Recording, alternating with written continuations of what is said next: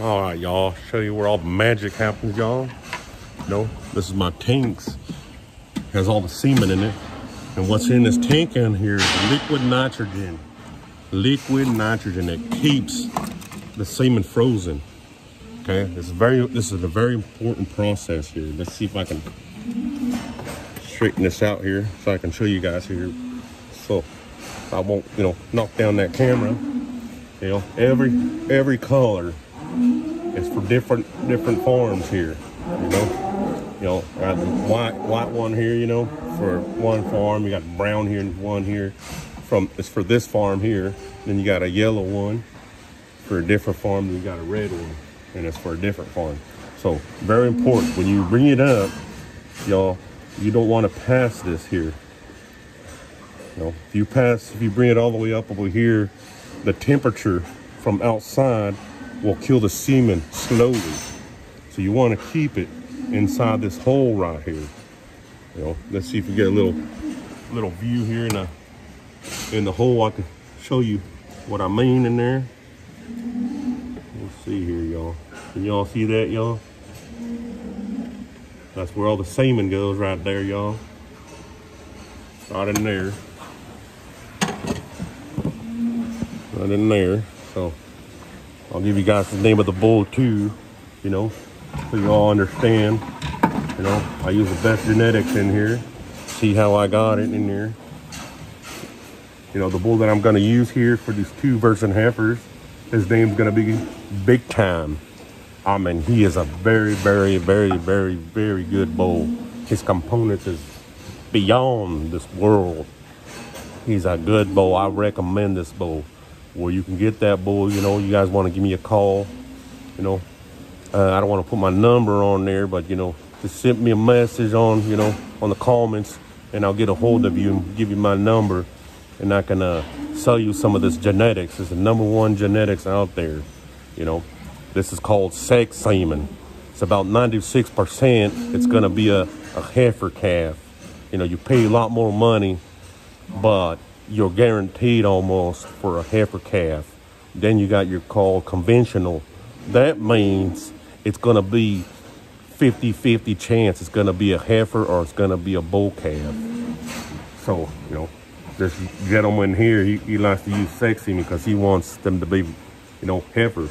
You know, you know, see that? See how I do that?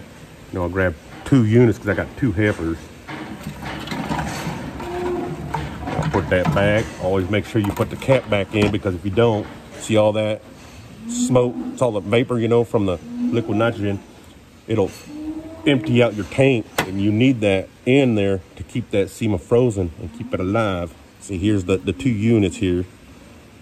See the two units of the sex semen. All right, y'all. Now I'll bring it over here, show you the process. You know, I got everything in my truck until I, I can afford to put a camper shell. It's very important to have a camper shell. That's why I park underneath the barn so the sun, very important not the sun to hit it too, because it kills semen. So I park underneath until I can afford to put a camper shell in my truck. So, you know, this is my little setup. You know, don't don't mind the mess, y'all, you know, but I gotta, I gotta clean it a little bit, but I'm very clean. You gotta be very important to clean. Your area got to be clean. So my area is a little bit, not dirty, but got trash, you know, a little trash everywhere. But I, I got to clean it up. I didn't clean it up yesterday. I cleaned it up every day. You know, before I get get done today, I clean all my stuff here. So this is called a thaw bath right here. You know, see, got a green light. Let me turn that music because I don't want to get uh, a clean or whatever you want to call it. You see the, the green light, y'all? When that green light is there, that means the water is ready to go. And I'll show you. So you put put the units in there, the two units. Very important. You gotta leave it in there for 45 seconds. After 45 seconds, you know, then you cut the tips, put it in your breeding guns. I'll show you all that too. Then you put in the sheaths. So I got this right here for the temperature. You all see that?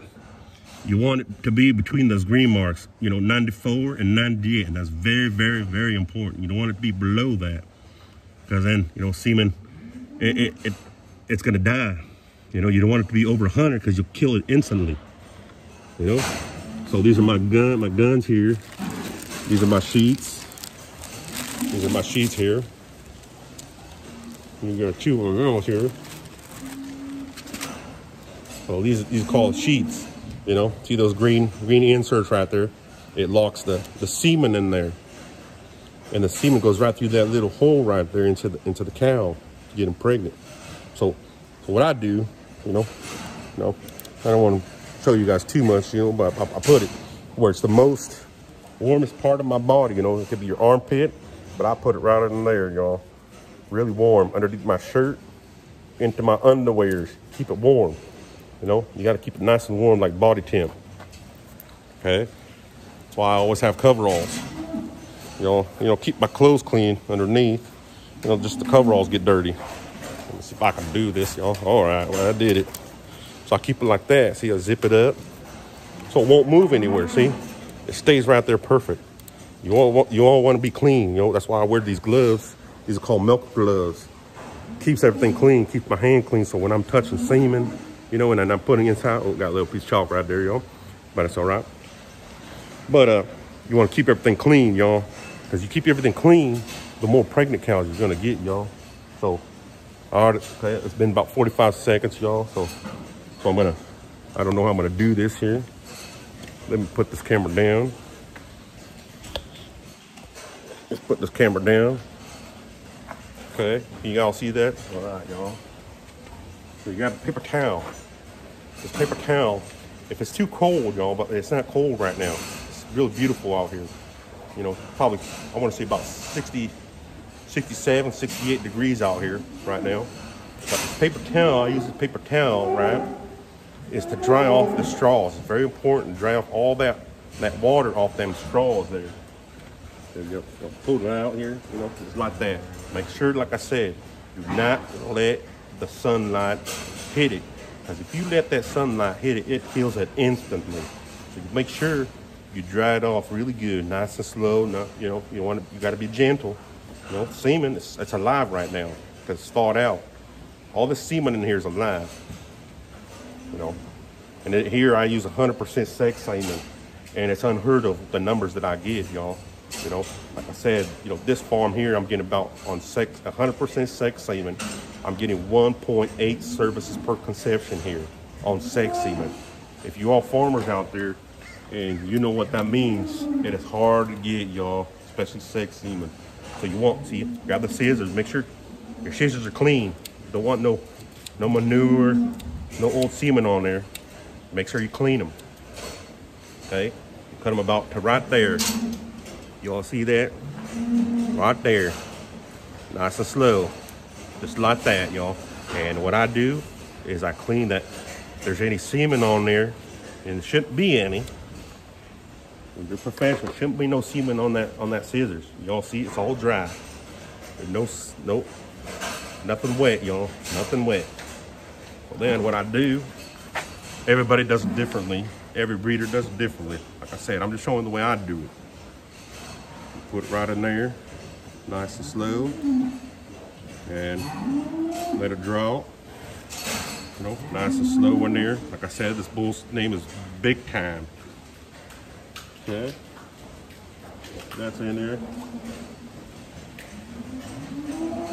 Let me grab my breeding guns, y'all. These are breeding guns, y'all. These are breeding guns. So what you do, you lift them up like that just like that. Then, because I make it look easy, it's, it's harder than it is.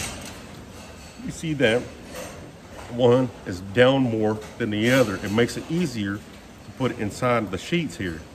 So when I do it, so if I have like seven of them, it I just make it so easy. It just goes whoop, whoop, right in there. And you push it down one by one, and you're gonna feel it click. Push it down and, and do a little twist on it and you'll feel it click and you sometimes you can hear it pretty loud y'all so you go like that there we go again there click push it down it's nice and slow until it stops you you, you feel it you, you, just put a teeny pressure you can feel it it just stalls. you can't push no more see that one it stopped can't push don't push no more because then you get semen in your underwears and every every little drop counts I'm, I'm telling y'all every little drop counts Okay, after that, what I do is I lift this. See y'all, see this on y'all? I lift, lift my, I got a sweater on, sorry y'all. But I lift it up. So make sure, cause this here, you don't want this. It, it, it, it seems like it's not, not much, y'all. But this here, y'all, it, it, it'll make it hard to go inside of a cow.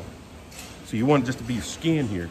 But it's a little, little chill. But right now I could have took off my sweater because I'm getting a little hot, a little sweaty, but I didn't take it off yet, but my bad. But I'll show you guys. So when I get to here, so my hand should only go about to here into the cow, and that's it. That's it.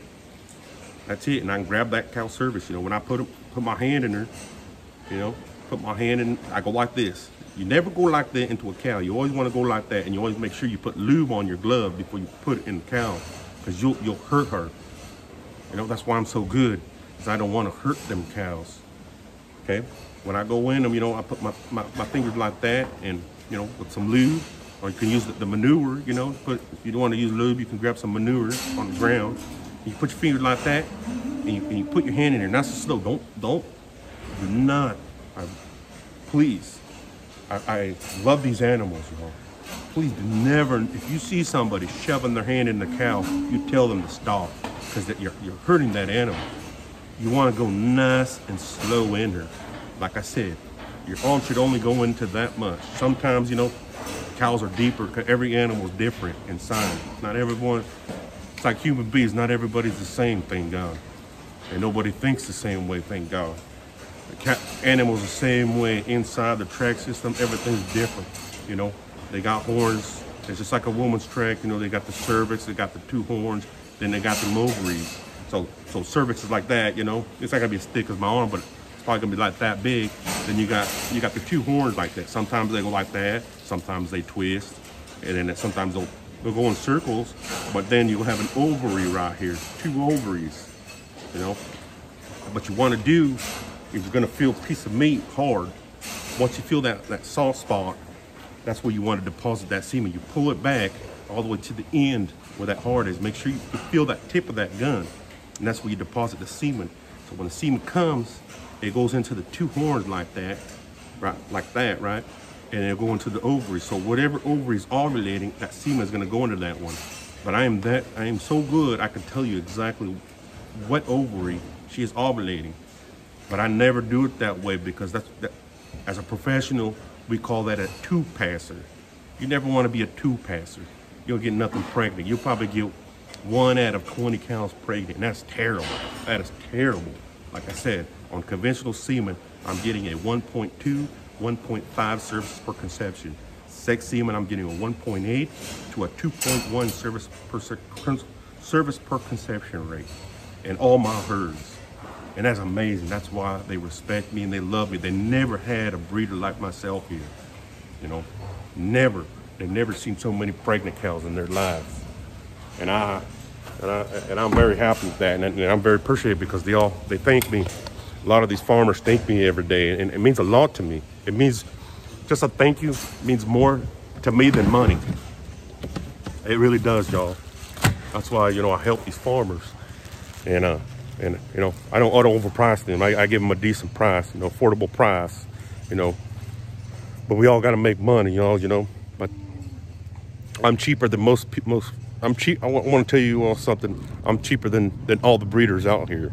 I'm the cheapest, and I'm the best. I believe in my heart, I'm the best. You know, you never want to say you want to be the number one. I'm not the number one breeder, but you know, I want to say I'm the top five breeder in the world. That's how that's how confident I am in myself, and you can ask anybody. You can ask any of my farmers, you can ask anybody around here where I live. They know me, not by my name, they call me the breeder. You say, you know, you know who the breeder is? And they'll say, oh yeah, I know that man. Man, he's a good man. I, I, I hear very good things about that man. He's good. Yeah. But like I said, it didn't take me, you know, one year for another. Another man I want to give shout out to also is old Mr. Harry Anderson. That man he taught me how to read them ovaries. And I became very, very good. And that man, Harry, Mr. Harry Anderson, he's he's seen that. He's seen that I was good. You know, he took good care of me, that man. You know, ran ran some problems, you know, family problems. When when you have family working together, it's kind of kind of pain in the ass. Yeah, kind of pain in the ass. You, you all know what I mean. Never, never work with family members. Yeah, that's all I gotta say about that. Family, whew, man, it's crazy. Yeah, stop talking about family, you know. All right, y'all. All right, let's go. Breathe these ladies. You guys can watch me breathe these ladies, y'all. Oh, oh man, I forgot to get some lube. See that, y'all? When you forget to do things, I forgot to get the lube. So my lube is gonna be some manure. My lube's gonna be some manure, y'all.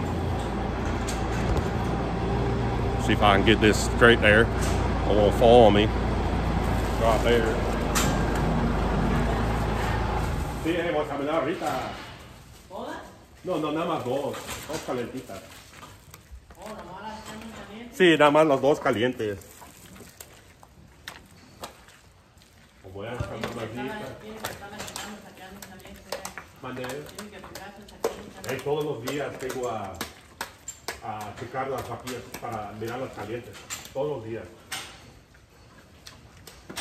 No se puede pasar un día, porque se pasa un día, se pasa las calientes y, y lleva 21 días para venir calientes otra vez. Esta es pura bazarita. Eh, por el 96% es bazarita. Esta. Y le tiene que agarrar algo por dentro. Sí, el surbex, ahí tiene la surbex a, a por diente. ¿eh? El corriente tiene el surbex. Pero es, igual como un- una mujer, todo, todo adentro es igualito como una mujer. Y lleva como una mujer nueve meses para parir. Igualito, igualito como una mujer.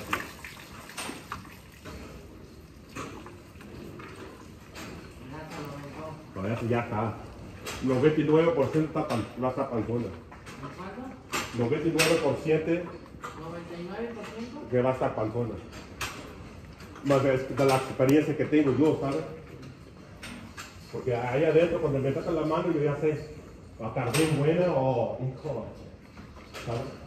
Yo, ya sé que va a estar bien buena y está bien caliente, ¿no? Y yo voy a examinarla y yo ya sé como esto también está perfecto por dentro. Y el 99% va a estar panzona. ¿Sabes? Después de examinarla, en 30 días, cuando me voy a checarla, va a estar panzona. ¿La usted otra vez? ¿Vale? ¿La usted? Así sí.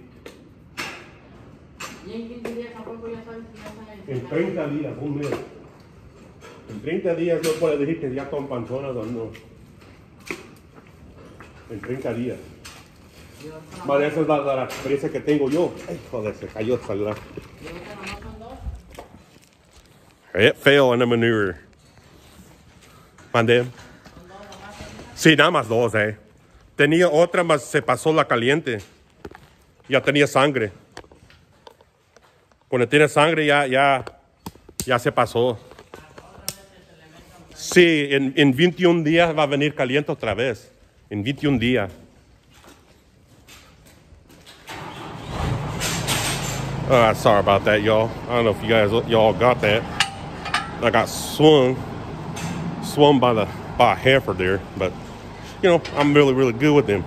I don't beat them, and I, sometimes you know you need that to wake up. You know when you when you hear that noise, they get a little crazy. You know I don't know if you all heard that little that tractor coming. You know, I uh they get scared, so they're gonna kick. It's it's, it's normal. They're gonna kick because they, they don't like that noise. And usually I'm really quiet with them. I, you know, I- when I talk to them, you know, I, I go, hey, baby, come on, mamas, come on, mamas. I talk to them. You know, here's the future. These the future. These are all my babies. These are all my daughters. These are the future. Beautiful animals. I'm in good health, y'all. Man, makes me happy just looking at them. Like I said before, these animals treat me better than human beings. And that's the sad part, but it's the honest truth the honest truth. They treat me better than human beings. You know, um, very blessed, like I told you all before. And uh, let them all go, you know, make sure. Also, when you're breeding, so I couldn't explain everything, you know. It, and it affected my, my phone fell in the cow manure, so I got a little covered in cow manure there, y'all. I gotta wash it up a little bit. Got, got some cow manure all over the place there. I don't know if you guys seen that phone go whoop. It did. Man, look at them beautiful heifers. Man, look at them. These, you know, these heifers here, you know, you're talking about, I want to say they're about, you know, probably a couple months old, you know, three months old. Those heifers, those small heifers there. You know, you can tell the difference. I'll show you.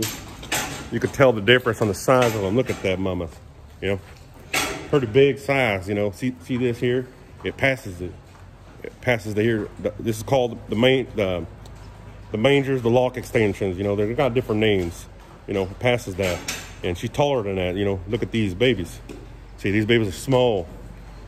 You know, see that? See the difference? They're tiny because they're only like three months old, y'all. You know, now I'm finished here. You know, gotta make sure, double check everything. I let everything go. You know, you never want to leave cows locked up. You know, you want them to get loose, go drink some water. You know, drink some water and they come back and eat some more. You know, see them? There's my baby right there, old 5514. See, majority of them all, these are called Holsteins. Like I said, these cows here is good to drink, the, the, is made for to drink the milk. To drink the milk and also for your cereal. And also they make very, very delicious cheese, y'all. You know, I won't I won't say that this this man here, he he makes the best cheese, in my opinion. This is my opinion. Because I love cheese. I love eating my cheese. He makes the best cheese in the world. No joke, y'all. Very, very good, good cheese, y'all. And I'll and I'll and I'll, and I'll tell you guys the name. The name I can't remember off the top of my head. The name I just know where it's at. I'm bad with names, y'all. I'm so sorry, but I'm bad with names. I just want to give you heads up. I'm really, really bad with names. But uh, very, very. I recommend you guys go over there to his cheese plant and just try his cheese. He gets free samples. Just tell him, you know, can I try the cheese? Man, makes amazing cheese. For me, the number one cheese in the world for me. That's not, like I said, my opinion. My opinion. You know, I'll give you guys the name, what it's called. Let me let me make sure. I don't want to give you guys the wrong name. You know, I don't want to give you guys some false information. I'll give you guys uh, the name, the name of it, and then you all go try it yourselves, and then you guys tell me what you guys think about his cheese. Man, excellent cheese, man. My, my mouth is watering right now just thinking about it. It's watering, y'all because I love that cheese. I got so many cheese from there in my house that you know I eat with you know my uh, my bread. I put some butter on there and I put that cheese in there. Dang, oh. that tastes good. Sometimes I put some ham in there too, make it a little taste better. You know, you put that butter in there. You put butter. I put butter. People, some people put mayonnaise, but man, I like my butter. I love butter. So when I make my sandwiches, you know, sometimes I'll, I'll switch it up. I, most of the time I use my butter in my sandwiches because I love butter. All right, bro. I better keep on going. Go to the next spot and make another little video. And thank you all for taking your time, hearing me BSing, telling you what I do all day long. All right, y'all. God bless you and God bless America.